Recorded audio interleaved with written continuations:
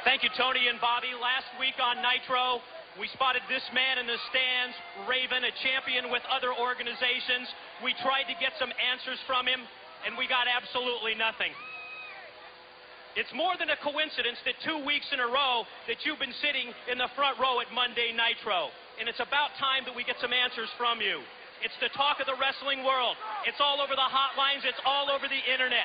Are you the mystery part? What do we have here? Stevie Richards. What are you doing here? Stevie Richards, your former tag team partner. Whoa, whoa, whoa. Wait a second, Iron Mike.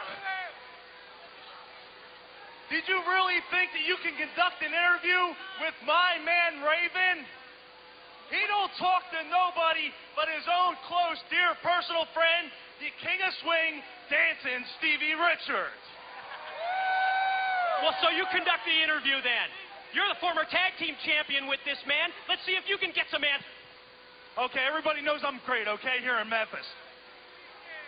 Why don't you why don't you just go ask one of the Mexicans what their favorite movie is and scram, pal?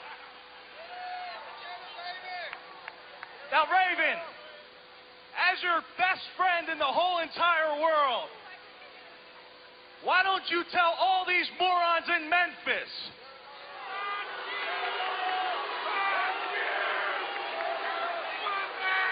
If you have signed a contract with World Championship Wrestling,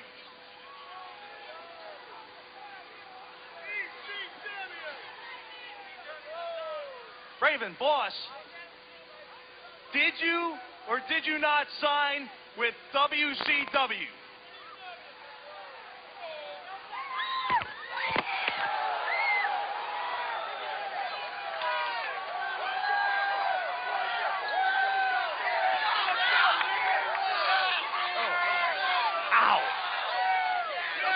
I told you you didn't want an interview. I told you we didn't want.